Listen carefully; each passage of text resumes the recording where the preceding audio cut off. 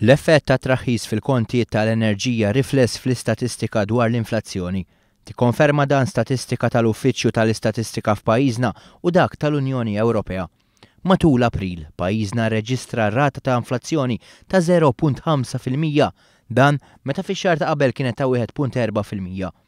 Analiżi tal-istatistika turi kif dan it-tnaqqis fl-inflazzjoni kien riżultat dirett tal-miżura tal-Gvern li jitnaqqsu l-kontijiet tad-dawl u l-ilma. Fil-fatt dan it-traħħis wassal biex l-indiċi tal-prezzijiet f'Malta jonqos b'żero punt sebgħa fil-mija. Mingħajr din il-miżura r-rata tal-inflazzjoni f'April 2014 kienet tkun ta' wieħed punt tnejn fil-mija u mhux ta' żero punt ħamsa fil-mija. B'hekk, minkejja d-dikjarazzjonijiet tal-Kap tal-Oppożizzjoni li jipprova jitfa' dubji dwar kemm raħħsu l-konti tad-dawl u l-ilma, l-istatistika uffiċjali tirrikonoxxi l-effett ta' dan it-traħħis.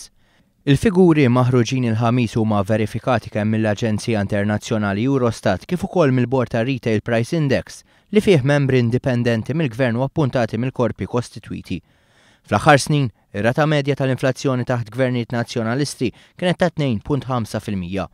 Ir-rata ta' inflazzjoni f'pajjiżna hi inqas minn dik taż-żona ewro u inqas minn ta' 28 pajjiż tal-Unjoni Ewropea. Riżultat ta' tnaqqis fl-inflazzjoni pajjiżna se jkun f'sitwazzjoni fejn il-paga tiżdied iktar mill-għoli tal-ħajja. Fil-fatt, t-tbassir tal-Unjoni Ewropea jindika li l-ħaddiema se jibda jkollhom aktar flus fil-but. Dan anke jekk wara li wieħed jikkunsidra kemm ikunu żdiedu l-prezzijiet.